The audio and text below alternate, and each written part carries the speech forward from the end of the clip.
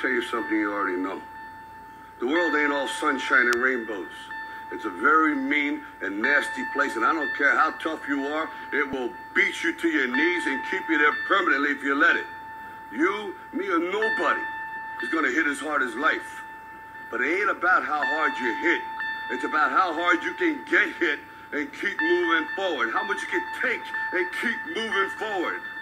That's how winning is done. Now, if you know what you're worth, now go out and get what you're worth. But you gotta be willing to take the hits and not pointing fingers saying you ain't where you wanna be because of him or her or anybody. Cowards do that and that ain't you. You're better than that. Pain is temporary.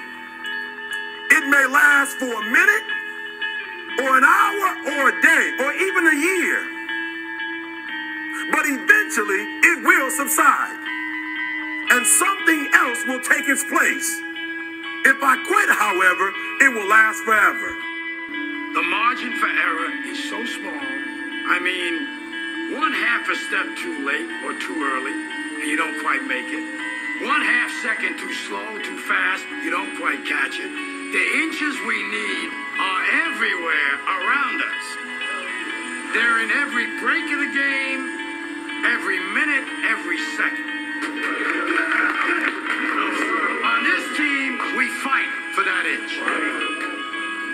On this team, we tear ourselves and everyone else around us to pieces for that inch. We claw with our fingernails for that inch. Forget about the crowds, the size of the school, their fancy uniforms, and remember what got you here.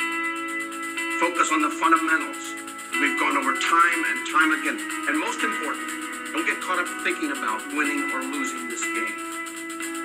You put your effort and concentration into playing to your potential, to be the best that you can be, I don't care what the scoreboard says at the end of the game, in my book, we're going to be winners. Number one, you can't win the game if you ain't in the game. And man, my man not only showed up to the game, he showed up, he did what he had to do. Are you hear what I'm saying? He showed up. That's principle number one. You gotta show up. Listen to what I'm saying. That 75%, that's right, 75% of life success just means showing up. That 75% of success you just show up. You just say, I'm accounted for. I'm present. I'm here. And I ain't going nowhere. No matter how hard it is, no matter how difficult it is, no matter how challenging it is. And I Constant through all the years, Ray, has been baseball. America's ruled by like an army of steamrollers. It's been erased like a blackboard, rebuilt and erased again.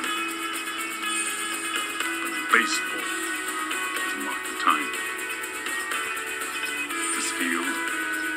this game, is a part of our past, Ray. It reminds us of all that once was good